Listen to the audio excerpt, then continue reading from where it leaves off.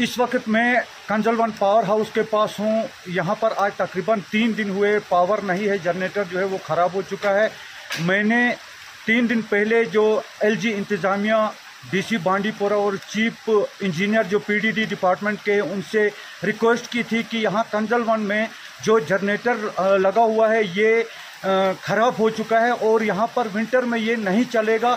इसलिए मैं डीसी बांडीपोरा और चीफ इंजीनियर पीडीडी को रिक्वेस्ट करता हूँ कि यहाँ पर या तो दावर, जो दावर में जनरेटर है न्यू जनरेटर, या वापोरा में जो जनरेटर है, यहाँ पर दिया जाए ताकि विंटर में यहाँ पर पावर चले। अगर, वरना यहाँ पर जो है इस जनरेटर के अगर हम भरोसे पे रहेंगे तो यहाँ पर विंटर में पावर नहीं होगा। मैं चीफ इंजीनियर पीडीडी और डीसी साहिब बांडीपुरा से गुजारिश करता हूँ कि आज कंदरवन में हम चार दिन से बगैर लाइट के अब हम दुकानों में जाते हैं शमा के लिए। अल्लाह की कसम शमा भी नहीं मिलती है। मैं खुद कर गया हूँ, मुझे शमा नहीं मिली है। दो परसेंट, तीन परसेंट मोबाइल चार्ज थे, उससे खाना खाया है। इस दौर में भी अगर पावर ना हो तो ये कितना बड़ा जुल्म है, हमारे बच्चे जो हैं, वो बिल्कुल बर्बाद हो रहे हैं।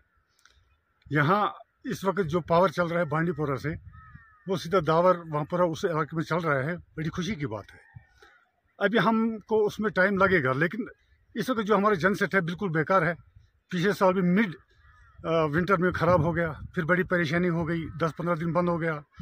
इस साल फिर हुआ, न इसकी तरफ़ कोई देखता है ना कुछ। अब हम गुजारिश करते हैं कि इस इंजन को ठीक करने तक वहाँ पर हमें दो जनरेटर हैं, दोनों सेट हैं। अगर एक जनरेटर यहाँ हमको भेज दिया जाता तो हमारा भी, हम कहाँ मांगते हैं कि अभी बांडीपुर का पावर हमको दे दो?